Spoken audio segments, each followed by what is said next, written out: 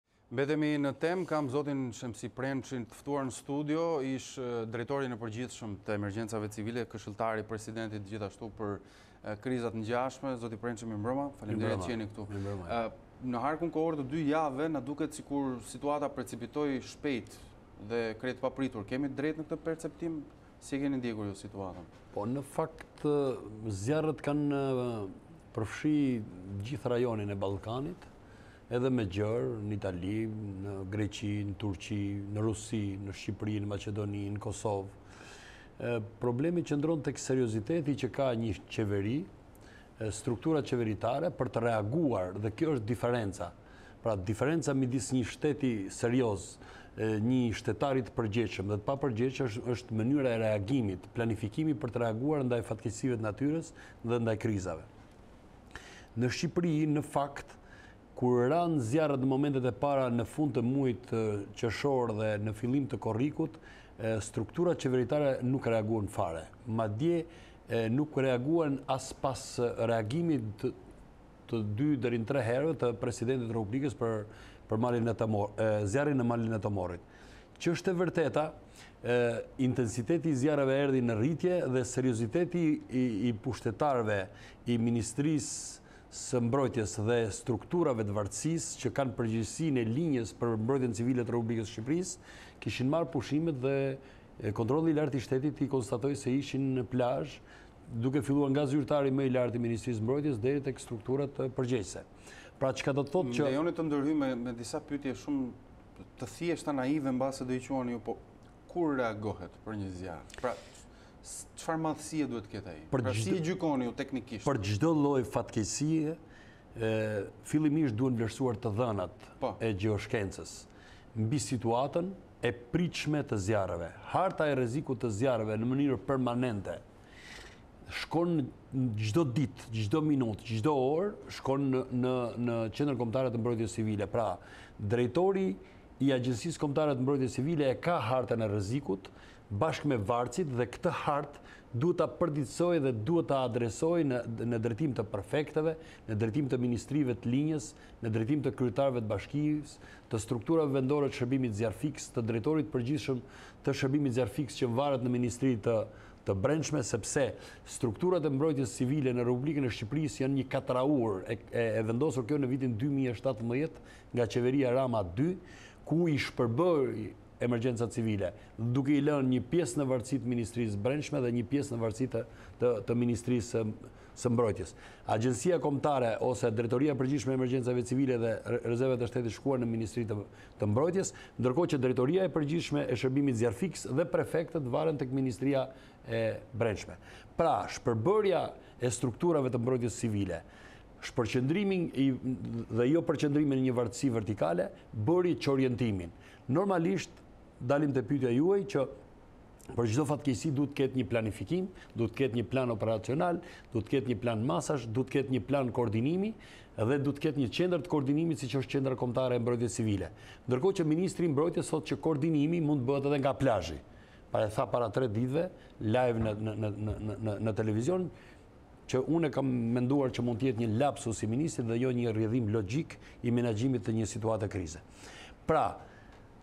Dalim të reagojë. Reagusit e parë të një vatre zjarri janë strukturat e shërbimit zjarrfikës të pushtetit vendor. Mhm.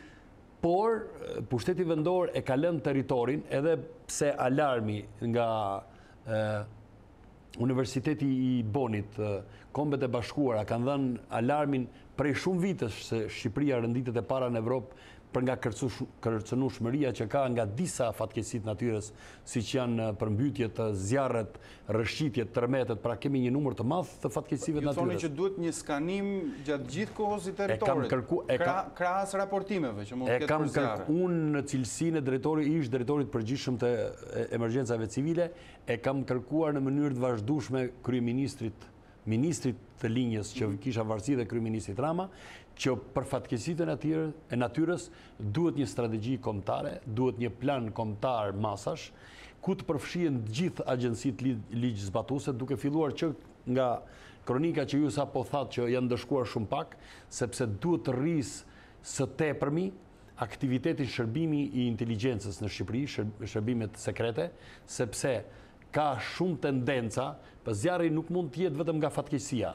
Zjarri mund të jetë i qëllimshëm, zjarri mund të jetë i investuar nga shërbime të huaja për të për të për të keqpërdorur ose për të larguar turizmin nga Shqipëria, për të krijuar një situatë të papranueshme për turizmin, Po zjarri mund të vihet nga nga grupet e interesit, nga grupet kriminale të kultivimit të bimëve narkotike, zjarri mund të vihet nga pakujdesia e turistave që aplikojnë barbecue nëpër zonat turistike dhe zonat e mbrojtura, mund të vihet me qëllim nga nga barinjtë për të krijuar kullota të reja, po mund të vihet në mënyrë pa dashje nga fermerët të cilët për arsye të ndryshme djegin mbetje dhe shkurre që nuk ju duhen, por ju del nga kontrolli zjarri dhe pastaj merr masive të të plantacioneve me pemë frutore, pra ka një numër të konsiderueshëm shkaqesh.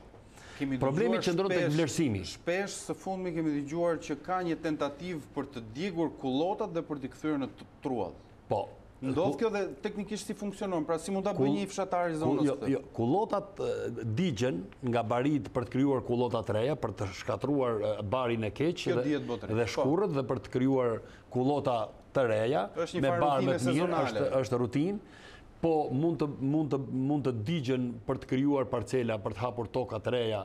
Kryesisht këtë këtë fenomen e kanë bërë grupet e interesit që kanë kultivimin e bimëve narkotike në zona që nuk shkelen nga banorët dhe nuk shkelen nga nga barinjtë. Dihet tashmë që Shqipëria është një nga vendet që kultivon më shumë, më së shumti hashash dhe marijuanë dhe e aplikojnë grupe të caktuara. Prandaj edhe thash që kërkohet në radhë të parë intensiteti, të rritet intensiteti i shërbimeve nga shërbimet sekrete shqiptare, nga policia e shtetit, nga prokuroria me metoda të specializuara të hetimit, Lidhur me zjarrvëniet, po kërkohet, më së shumti kërkohet një ndryshim në Kodin Penal të Republikës së Shqipërisë.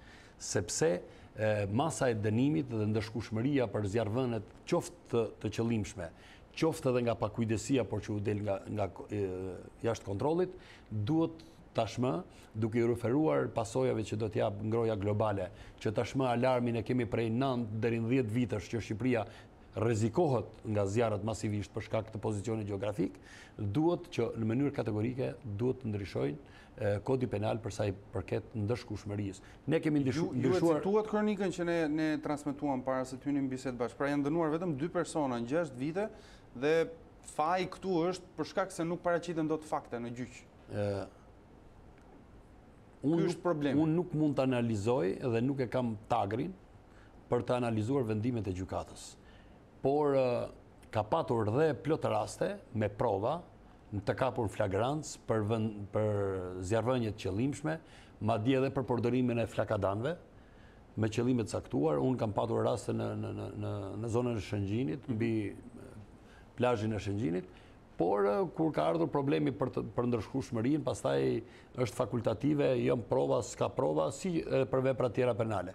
Problemi qëndron që kërkohet ndryshim në në ligj, në Kodin Penal për të ndëshkuar këto, sepse Shqipëria jo vetëm në vitin dy mijë e njëzet e një, por edhe viti dy mijë e shtatëmbëdhjetë ka qenë një verë shumë e nxehtë me raste shumë të mëdha zjarri, është operuar ndryshe, nuk ka marrë këto përmasa, ka pas vatra zjarri më të shumta, por është shuar zjarri që në embrion pa marrë përmasa të mëdha.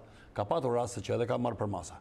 Por zjarri pastaj kërkon specifika, kërkon gatishmëri, kërkon plana, siç thash, kërkon gatishmëri të flotës ajrore të Ministrisë së Mbrojtjes e cila është në gatishmërinë zero, është në gatishmërinë zero, unë e kam thënë dhe nuk përbën sekret, është mirë të thuhet e kemi në gatishmërinë zero, sepse Nga një ngjarje fatkeqësi natyrore duhen nxjerrë mësime, duhen bërë analiza, me qëllim që qeveria në të pastajmen të investojë për këtë fushë që ka dobësi të theksuara, se ne kemi investuar, ne kemi arritur në Shqipëri, kemi bërë tendera me nga njëzet milionë euro një kilometër rrugë dhe ne nuk kemi investuar fare për infrastrukturën dhe për kapacitetet njerëzore dhe teknike për luftën nga ajri të zjarreve, duke patur parasysh se ne kemi një rrjet rrugor Skandaloz për sa i përket të operimit të mjeteve tokësore për të shuar zjarrin edhe në qendrat e banuara, e jo ma në pyje dhe në dhe në kullota. Pa s'kemi rrjet rrugor, me se do të afrohemi.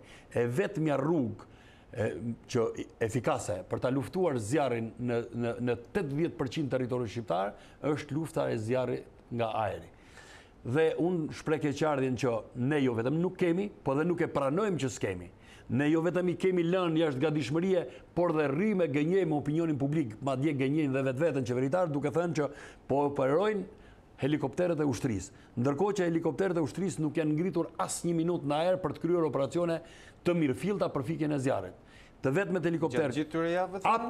As edhe një minutë. Unë e them me përgjegjësi ligjore dhe morale. S'janë helikopterët e ushtrisë. Helikopteri i ushtrisë është shfaqur vetëm dy herë. Një herë duke udhëtuar kryeministri i Shqipërisë, duke i soditur zjarret nga ajri, dhe një herë duke udhëtuar drejtori i Agjencisë Kombëtare të Mbrojtjes Civile, por jo duke kryer operacione me kova. Pastaj edhe helikopteri çek që ka ardhur, i cili fatkeqësisht ka ardhur në Shqipëri, detyrohet të vijë të mbushi karburantin nga Vlora në Farkë, tek reparti i helikopterëve shqiptar, sepse Ministria e Mbrojtjes, ndërkohë që i ka bërë thirrje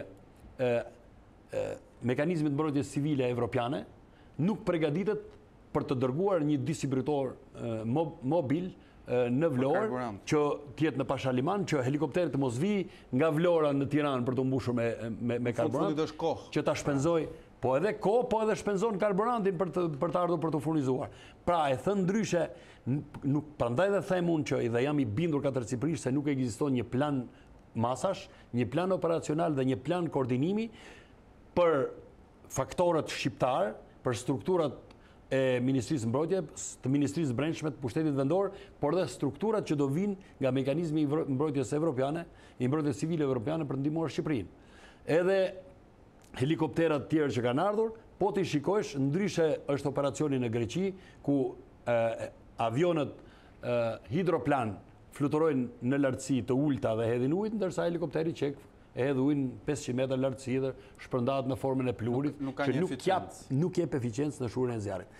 Dhe e kam cilësuar dhe do të vazhdoj ta cilësoj, që në territore të ndryshme kërkohen mënyra të ndryshme operacionale, kërkohen mjete fluturimi të niveleve në lartësi të ulta, me qëllim që operacioni të jetë efikas. Dua t'ju pyes për kohë. Në një informacion të fundit që është shpërndarë nga Ministria e Mbrojtjes janë, unë po them lokacione, sepse në një bisedë paraprake zoti Prençi tha që specifikisht një lokacion mund të përmbajë dy apo një ose më shumë vatra në vetvete. 15 vatra. Pra 20 lokacione janë cituar në një komunikim të fundit të shpërndarë nga Ministria e Mbrojtjes, që mund të kenë një ose më shumë vatra në vetvete. Po. Pra praktikisht është gjithë harta e Shqipërisë me vatra. Mbi 100 vatra zjarri. Në momentin që flasim. Është tjetër lokacioni me prezencë zjarri, për shembull në zonën e Karaburunit nuk kemi një vatër zjarri, kemi mbi pesëmbëdhjetë vatra zjarri.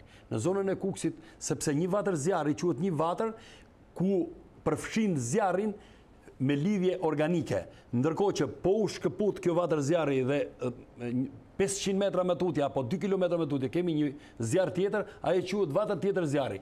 Perimetri i zjarrit perimetri i një zjarri është vatër zjarri. Peri, ai, zjarri tjetër ka perimetrin e vet. Ndaj dhe thuhet në teknikat e luftës kundër zjarrit që zotësia e strukturave operacionale dhe eficienca e strukturave operacionale është kufizimi i perimetrit duke hedhur ujë, duke shkëputur zonën e, e padjegur me zonën e djegur, pastaj copëtimin e zjarrit dhe asgjësimin plotësisht deri në mbajtjen nën mbikëqyrje për ta shuar zjarrin deri në momentet e fundit sepse zjarri riaktivizohet po. për shkak të humusit, për shkak të halave të pishës, sepse kryesisht është në zonat me bimë halore, ose dhe me zonat ku bari është vit pas viti i shtresëzuar, i thatë, dhe i kalëzuar. Me gjithë hartën që kemi aktualisht dhe me motin që përshojmë, po nxehtë po bën, erë po fryn në vende të ndryshme, pra favorizohet zjarri, çfarë parashikimi mund të bëjmë në? Gushti duket pesimist për të bërë një një një përmbyllje të gjithë zjarreve apo jo? Unë të gjithë ato struktura që vërtet vërtet luftojnë me zjarrin, i përgëzoj për guximin dhe për mundin dhe djersën. Ajo çka çalon në Republikën e Shqipërisë është drejtimi dhe koordinimi. Edhe e dyta është që ne një herë të vetme duhet që Kryeministri i Shqipërisë, Qeveria shqiptare duhet të marrë në analizë mbrojtjen civile, të paktën seriozisht, raportet e Kombeve të Bashkuara në nëntë vite, tetë-nëntë vite, që e rendisin Shqipërinë si një ndër vendet më të kërcënuara në Evropë, madje për disa fatkeqësi në vend të parë, duhet analizuar dhe i duhet kushtuar rëndësi ngritjes së kapaciteteve njerëzore dhe teknike për t'u përballur me fatkeqësinë, sepse serioziteti i një qeverie, mvaret pikërisht nga mënyra e paralajmërimit, e parapërgatitjes dhe e reagimit operacional për ta minimizuar riskun nga një fatkeqësi natyrës. Nëse ne nuk do ta analizojmë këtë në nivel qeverie dhe nuk do t'i kushtojmë rëndësi ngritjes së kapaciteteve reaguese, Ne pastaj do të themi i presim tre helikopter, po si presim helikopter në një kohë kur ne kemi 15 helikopter dhe asnjë helikopter i joni nuk është në gatishmëri dhe asnjëri prej tyre nuk ka kit operacional për të luftuar zjarrin nga ajri. Një vend anëtar i NATO-s që nuk ka dy deri në tre helikopter të përshtatur me kitet operacionale për të luftuar vatrat e zjarrit, që është detyrë parësore e forcave ushtarake në kohë paqe, mbrojtja civile e Republikës, atëherë nuk mund të flasim për një vend anëtar të NATO-s, ose flasim për një vend anëtar të NATO-s, por flasim për një ushtri e cila është katandisur në një deregje ku gatishmëria është zero dhe reagimi dhe shpresa e popullatës se kemi një ushtri që na mbron nga flakët, është zero. Unë e kam cilësuar që zjarri në Karaburun, dhe zjarri në ishullin e Sazanit, që kanë zgjatur për dy javë pa reaguar shteti dhe dy javë tjera që ato tani janë në luftë me të, por nuk e menaxhojnë dot, tregon që ushtria shqiptare nuk mundet të mbrojë shtëpinë e vet. Jo ma të mbrojë popullin shqiptar në njëzet e tetë mijë e shtatëqind e dyzet e tetë kilometra katrorë. Kjo është e paprecedent, niveli më i ulët i ushtrisë shqiptare në historinë e njerëzimit.